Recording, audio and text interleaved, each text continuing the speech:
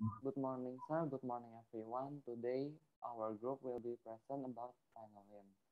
Our group, there's Audrey, me as Benedict, London, Mega, and Michaela. Mm -hmm.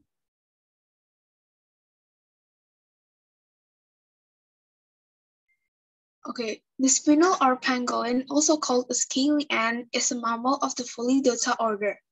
One surviving family, Manidae, has three generations, consisting of four species living in Asia.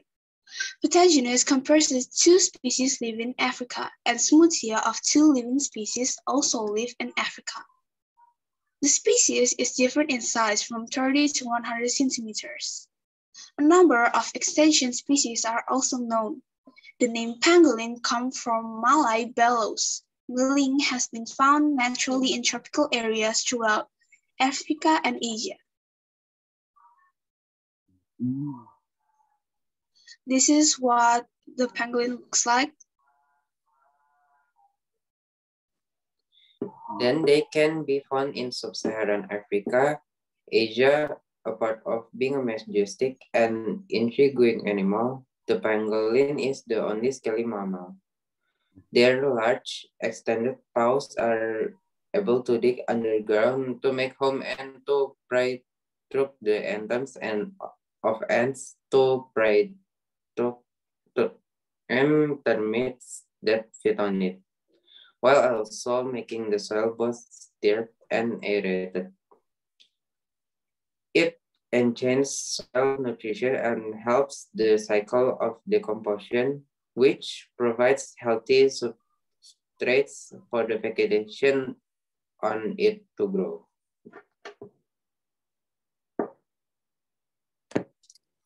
These solitary, primarily nocturnal animals are easily recognized by their full armor of scales.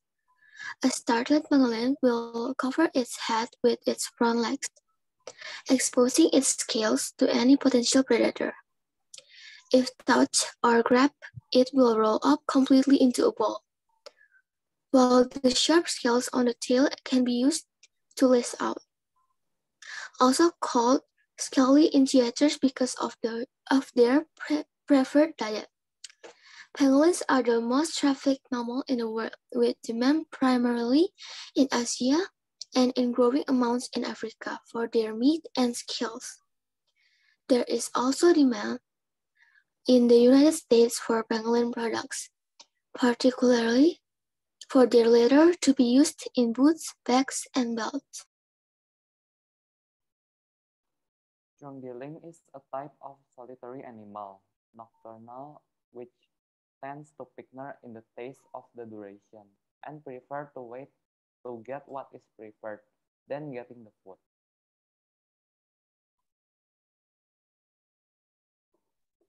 The eight species of pangolin are now globally threatened. This is fueled by an influx of critically endangered of critically endangered species. There are over a million pangolin estimated as extracted from the wild in recent years to meet the growing demand to their flesh, scales, and embryos. The pangolin is now the most illegally traded mammal on Earth. The product of the pangolin was thought by some to have magical and medical efficacy, uh, and with ancient species on brink of extinction, the man has now shifted to the African pangolin. Thank you for listening our presentation. Okay, great. Thank you for um, Audrey, Benedict, uh, London, Mega, and Michaela for your presentation about pangolin. Yeah. So the first time I saw that pangolin, uh, is it penguin? But it's really different. Yeah. That's the animals is really uh, family in uh, Africa. Yeah. So great. Thank you so much for having this uh, great presentation. Yeah. You uh, tell uh, uh, about the uh, general uh, structure or I mean the uh, classification of the uh, of that pangolin. Yeah? Uh, when we talk about the report text, that we talk things related the information that we got from that things, yeah, like uh, animals or uh, plants or any kinds of objects. Yeah, good job. Any questions uh, comes from comes from the participant? Yeah, hello. the audience? Do you want to ask some question about this uh, project or about this presentation? Yeah, I give you time to have questions for that. Okay. okay, they maybe they get tired. Maybe this is still morning. They have no uh no uh uh, conversation that's something that I'm going to ask you. Okay, we go for the next uh, presenter. Okay, who is ready for the next? I I gave you uh, I don't have to point you, but if uh, you are freely uh, to have the second uh, presenter, go ahead. Hello. Or maybe uh, Michaela, Audrey, Benedict, London, and uh, uh, Mega point uh, the next presenter. Maybe you can discuss who's going to do. I give you time to that.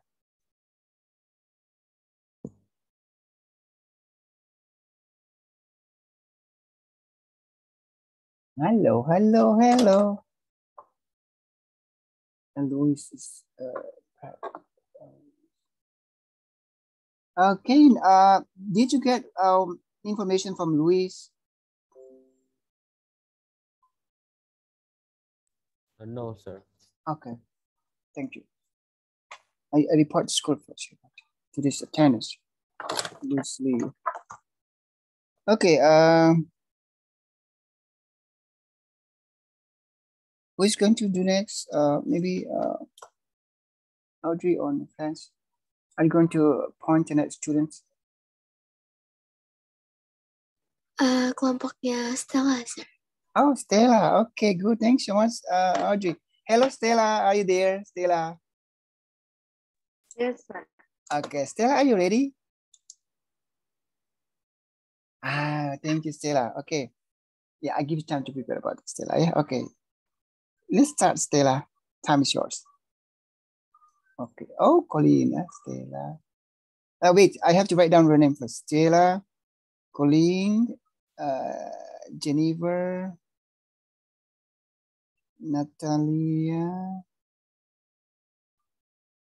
Ruby. Okay, go ahead. Good morning, everyone. Today we will be showing off our presentation on dog breeds. So without any further ado, let's get started. Okay, go. What are dogs? The dog or domestic dog is a domesticated descendant of the wolf, which is char characterized by an upturning tail. The dog derived from an ancient extinct wolf, extinct wolf, and the modern gray wolf is the dog's nearest living relative. The dog was the first ever species to be dom domesticated by hunter-gatherers over 15,000 years ago, before the development of agriculture. There are around 450 or more dog breeds, so we'll, we'll only be able to talk about only some of them today, but I hope you will be satisfied with the dogs we choose to present. The first dog we're going to be presenting is the Siberian Husky. Oh. Siberian Huskies are originated in Northeast Asia, where they are bred by the Chu Chukchi people of Siberia for sled pulling and companionship. It, it is an active, energetic, resilient breed whose ancestors lived in the extremely cold and harsh environment of the Siberian Arctic. Arctic. William Goosak, a Russian fur, tra fur trader, introduced them to, to Nome, Alaska, during the Nome Gold Rush, initially as sled dogs to work the mining fields and for expeditions through otherwise impossible terrain. Today, the Siberian Husky is typically kept on uh, kept as a house pet, though they are still frequently used as sled dogs by competitive and rec recreational mushers. Siberian Huskies have a very dense plush coat with plenty of undercoat. A small ruff around a small ruff is found around the neck, but no long fringes on the legs or tail. Color ranges from black to white and everything in between. Most dogs do have white markings, particularly on the chest and legs. The Husky has traits which are intelligent, outgoing, friendly, alert, and gentle. Here's some basic information about the Husky. Oh, good. Nice talk.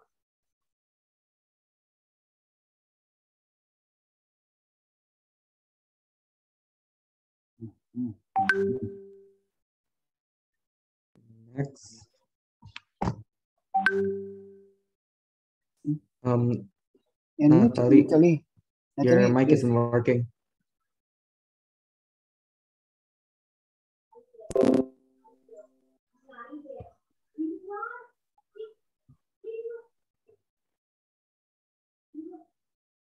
Um, I will also be showing off the Labrador Retriever. Labrador, Labrador Retriever's history began at the 19th century when a number of, number of St. John's dogs were important to the Dorset uh, area of England. Once in England, the dogs were soon spotted by English aristocrats who, when observing their considerable stamina, loyalty, skill in the water, and innate retrieving drive, recognized their suitability for working with the gentry in their favorite sport of hunting waterfowl. It's alleged that the East Earl of Malmesbury became, became intrigued by the breed during a visit to Dorset after seeing a St. John's dog retrieve a fish that a fisherman had thrown from his boat.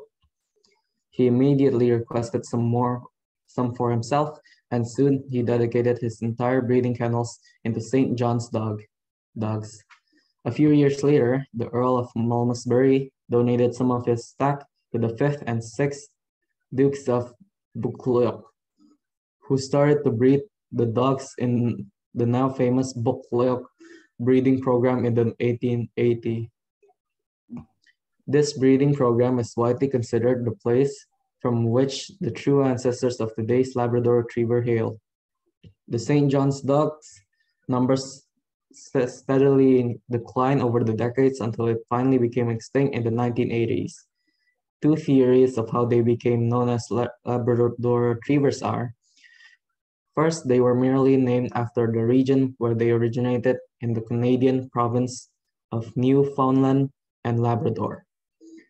The second is the Spanish and Portuguese term for workers or laborers is Labrador, Labradores and Labradors, respectively. Also, respectively. Also, within Portugal, there is a village called Castro Laboreiro, where a breed of dogs protecting livestock look very similar to the St. John's dog.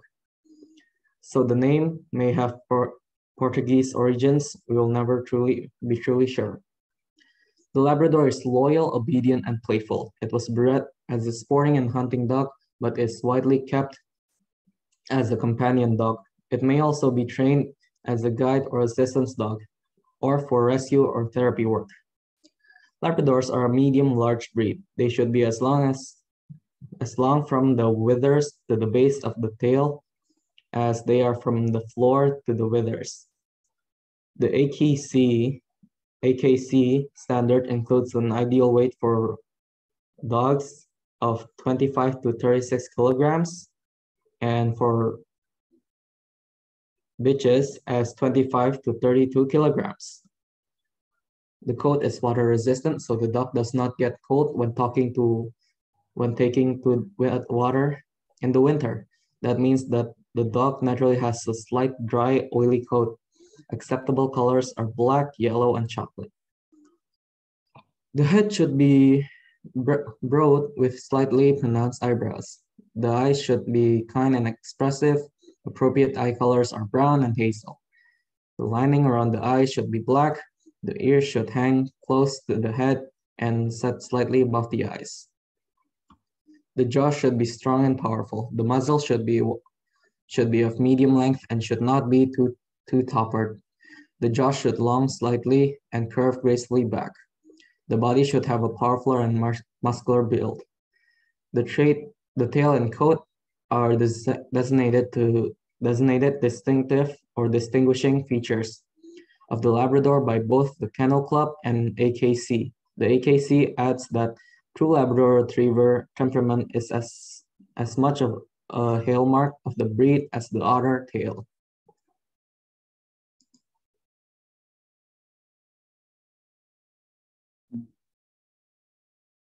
Mm, nice dog. And then next dog breed is poodle. Did you guys know that poodle is one of the most popular dogs? The breed is divided into four varieties based on size. The standard poodle, medium poodle, miniature poodle, and toy poodle. Poodle have become popular companion dogs. All of them are judged by the same standard of appearance, which call for a well-proportioned dog with a long, straight muzzle, heavily haired, hanging ears, a dark pom-pom tail, and a characteristic springy gait and a proud manner of carrying itself. The coat consists of a woolly under, undercoat and a dense wiry top coat. If allowed to grow, the hair forms like forms rope-like cords, and the dog is called a corded poodle.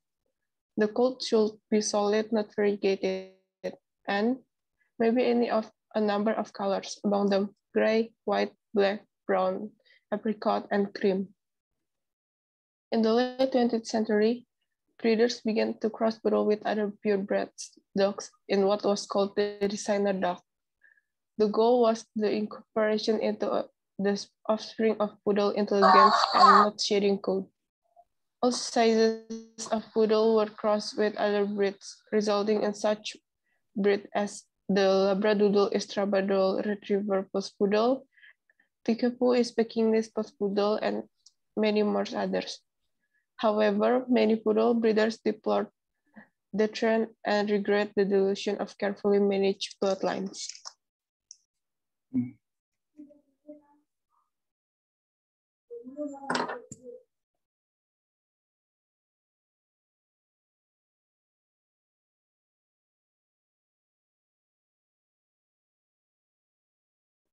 Kintamani. As the name implies, this dog they come from the Kintamani area of Bali.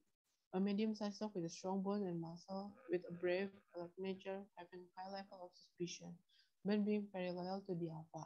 The Kintamani dog is suitable to be a guard dog and life partner, because Kintamani has a very long lifespan for a cycle dog, which is around 20 years.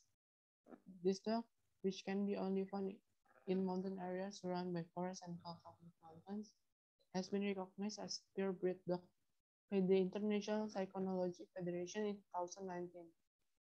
Kintamani weighs around 50 kilograms, officially recognized as a white, and has a double coat. Kintamani belongs to big group dog because it has similar characteristics to Samoyed Chow and the other big group dog.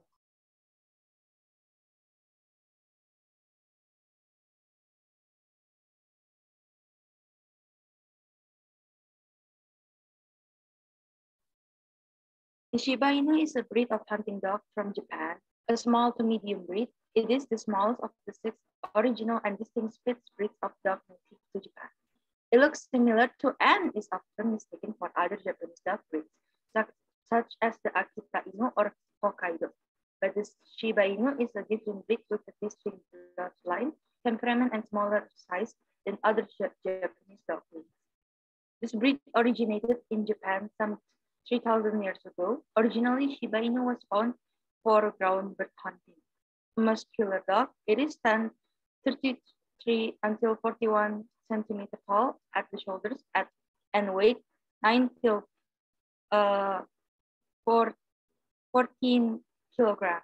The Shiba Inu is known for its temper, perkiness, and triangular set eyes. Its coat is short, plush, and straight with harsh undercoat and maybe white mixed with either red, ginger, tan, or light black. Highly active, the Shiba Inu loves the outdoors and cold weather. Although the breed faced extinction during World War II, its numbers have dramatically rebounded. The Shiba Inu is perhaps the most popular dog in Japan and was introduced in the United States in the 1950s. Thank you for listening. Are there any questions? Great. Thank you for Shell, Stella, Colleen, Jennifer, Natalia, and Ruby for dog breeds. You know, one of yours uh, presenting about Kintamani, yeah? Uh, I just tell you a little bit about Kintamani, yeah? When I was in Bali around 2004, eh, because I was staying there for two years, and I ever uh, visit Kintamani, yeah? Uh, so there's, they have the big dog, great, yeah? Really nice. Okay, any question from other groups to uh, about uh, the first presenter? Hello. No. Okay, do you have, uh, Nicholas, do you have any question about the first presenter? No. Hmm? The second presenter? No, No? no, no. No, okay. No question. Okay, any other question from the other groups? Um, hello. One, two.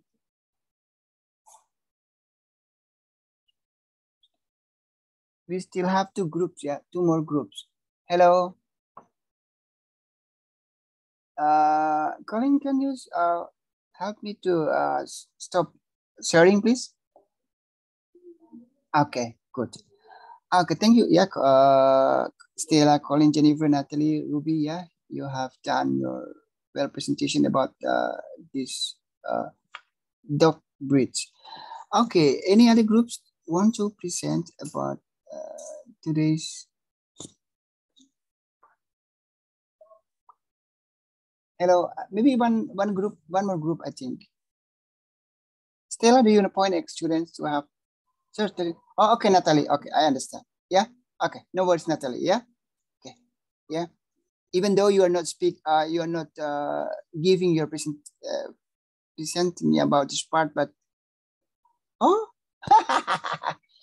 Natalie. Okay. Do you want to do it? Okay, go ahead. I give you time. okay, Natalie, go ahead. Hello, sir. Can you hear me, sir? Okay, now I can hear clearly. Go ahead. Yeah, go. Okay. Um, just my part. Yeah, yeah, yeah. Just in your part. That's okay. Yeah. I need to listen about your. uh, Okay, go. Mhm. The Labrador Retrievers, like every retrievers, started from St. John's dog. Their history began at the 19th century, when a number of St. John's dogs were imported to the Dorset area of England. They were spotted and observed by English aristocrats and got recognized for their suitability for hunting waterfalls. A breeding program made by Earl Malmesbury is widely considered the place from which the true ancestor of today's Labrador retrievers hail.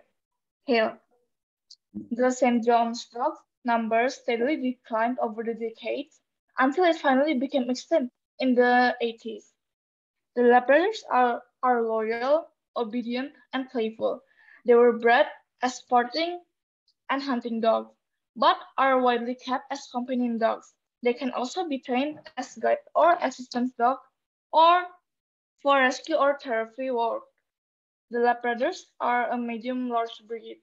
They are water resistant. They have broad head with slightly pronounced eyebrows. They should have strong jaws and should have a powerful and muscular build. Thank you, sir. Okay, thank you, Natalie Chokro, yeah, for your time for having this one. Good job. Thank you, Natalie. Yeah. Yeah. Okay. Um.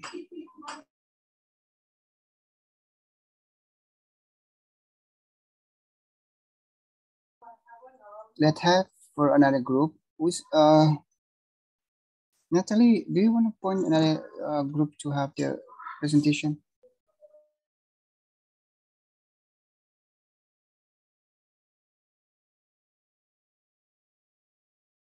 Colleen, do you have any? Timothy's, Huh? Timothy's group. Okay, Timothy's. I have done it, sir.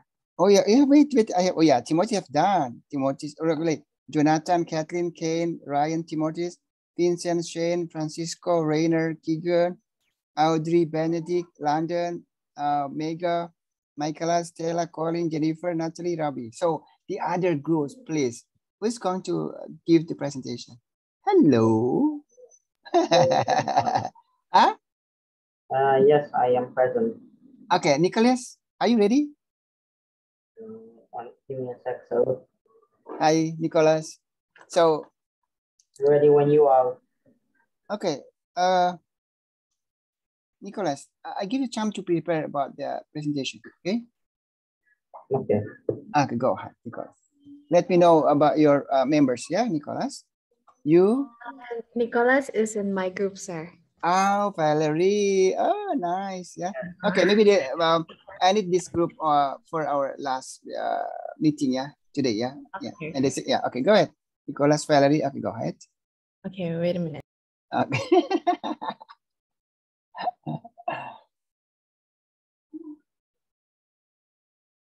Nicholas Lee, Valerie. Um,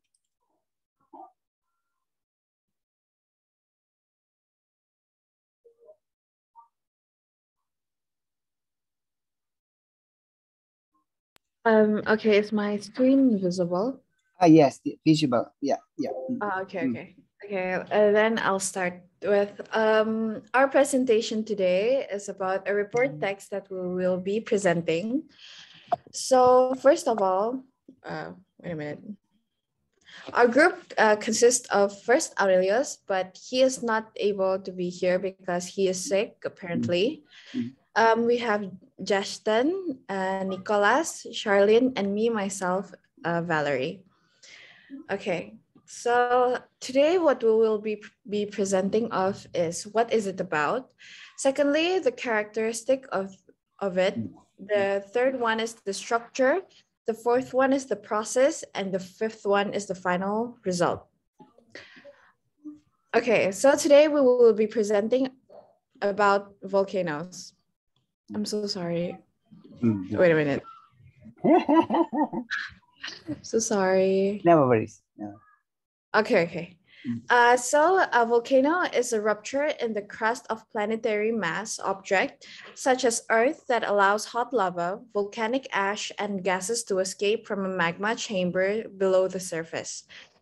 On Earth, volcanoes are most often found where tectonic plates are diverging on, or converging, and most are found underwater. Many mountains form by folding, mm. faulting, uplift, and erosion of the Earth's crust. Volcanic terrain, however, is built by the slow accumulation of erupted lava. The vent may be visible as a small bowl shaped depression at the summit of a cone or shield shaped mountain. Through a series of cracks within and beneath the volcano, the vent connects to one or more linked storageous areas of molten or partially molten rock, which is magma. This connection to fresh magma allows the volcano to erupt over and over again in the same location. In this way, the volcano grows even larger until it is no longer stable. Pieces of the volcano collapse as rocks falls or as landslides. Mm-hmm. Okay. The next one is a volcanic eruption. A volcanic eruption is when lava and gas are released from a volcano, sometimes explosively. The most dangerous type of eruption is called a glowing avalanche, which is when freshly erupted magma mm-hmm. flows down the, the sides of a volcano. They can travel quickly and reach the temperature up to 1,200 degrees Fahrenheit. Other ha- hazards includes ashfall and lahars, which is mud or debris flows. Volcanoes often cause population displacement and food shortages. The next one uh, we'll be talking about the characteristic. Um, the first characteristic of a volcano is formed by eruptions of lava and ash. Secondly, volcanoes are usually cone-shaped mountain or hills. Third, um, when magma reaches the Earth's surface, it is called lava. When the lava cools, it forms rock. Uh, the fourth one is volcanic eruption can happen at destructive and constructive boundaries, but not at a conservative boundaries or collision zones. The last one is some volcanoes happen underwater along the seabed or ocean floor. Next part, I will explain about the structure of the volcano and what does it look like.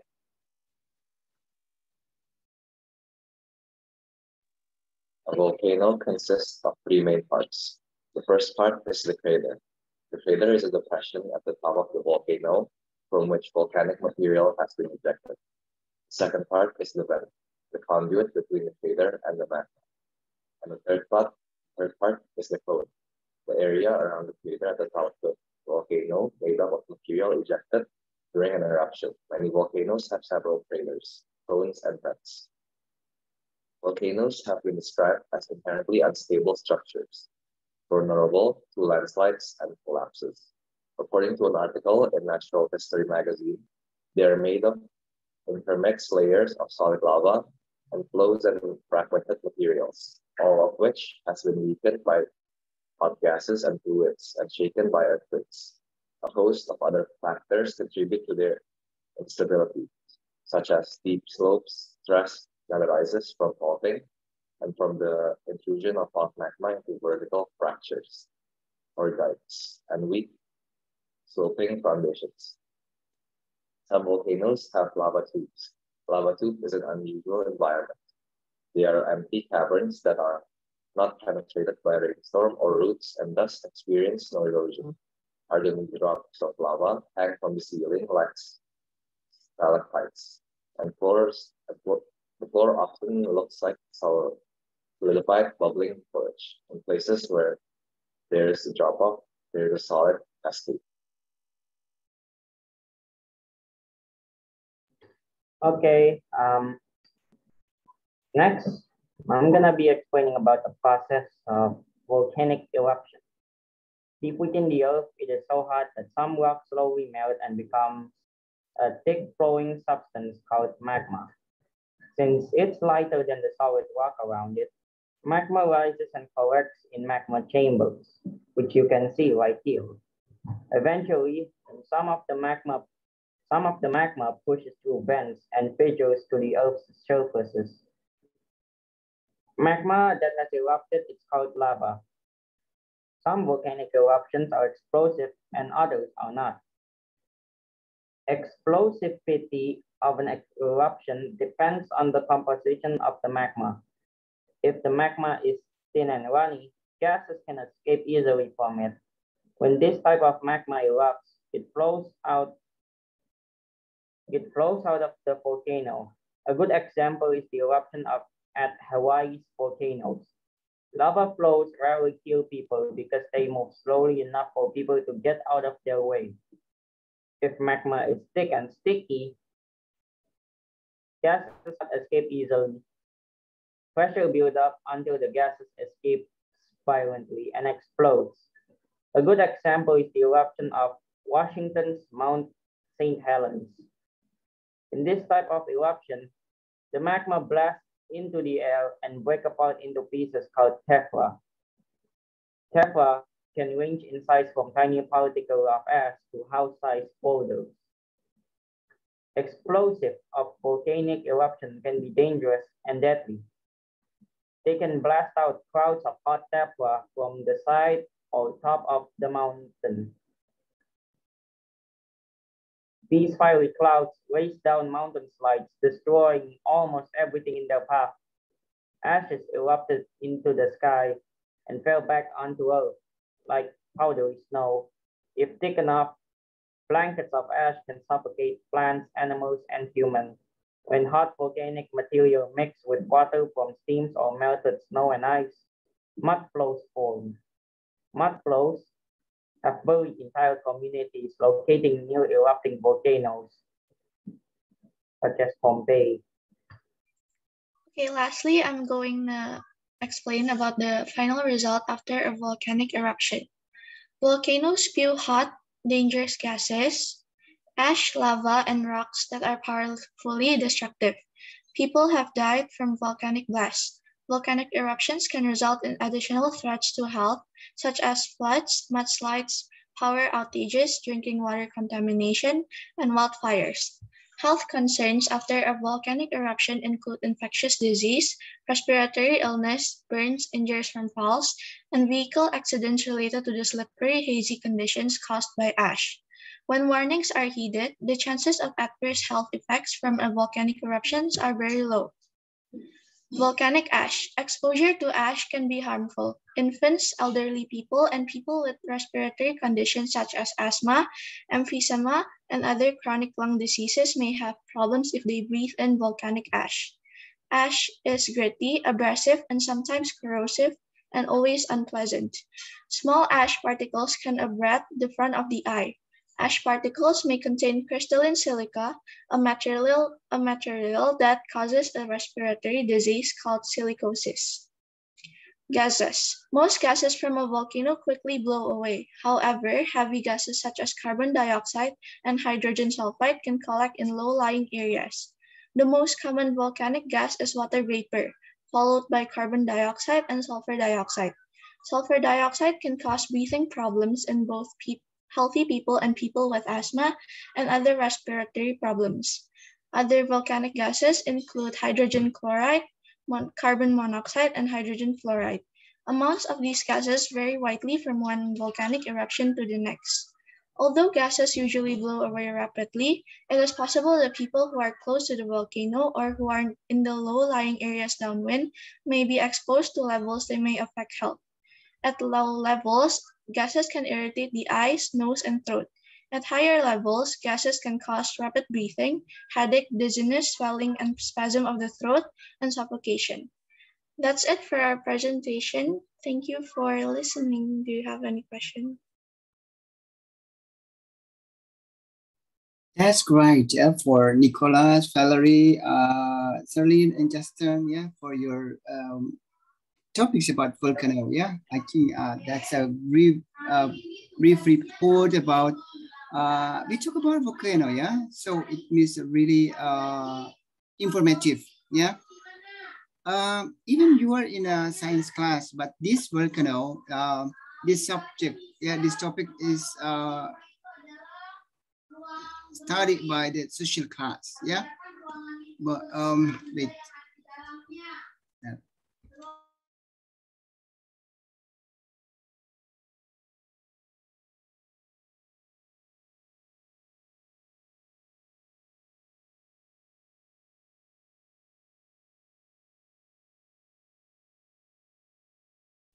Sorry, yeah. Uh, okay. Um, any question from other groups about this volcano uh, presentation? Hello. Any questions? Huh? Any questions?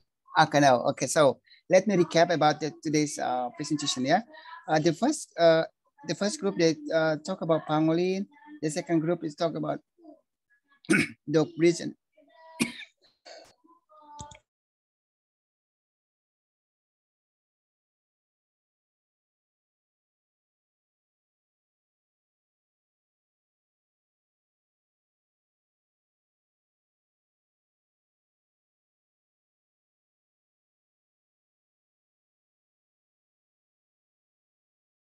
sorry, I got a problem.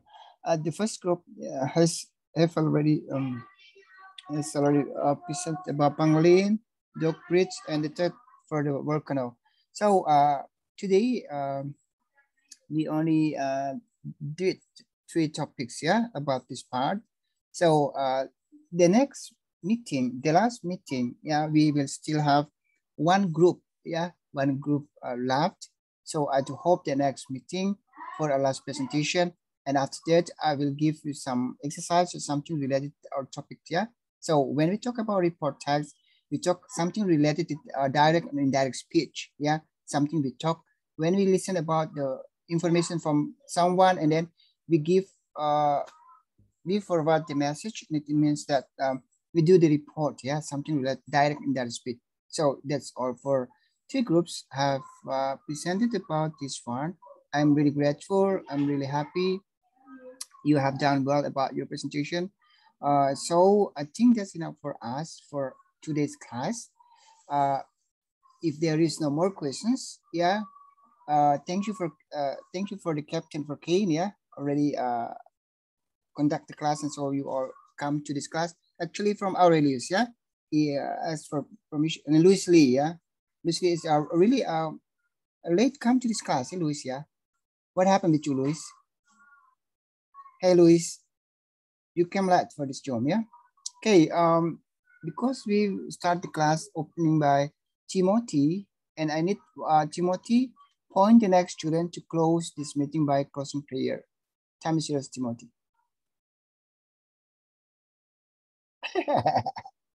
Hi, Timothy. Hi. Um, Uh -huh. I need you to, to point next to them to lead the Stella, sir. Huh? Yeah? Stella.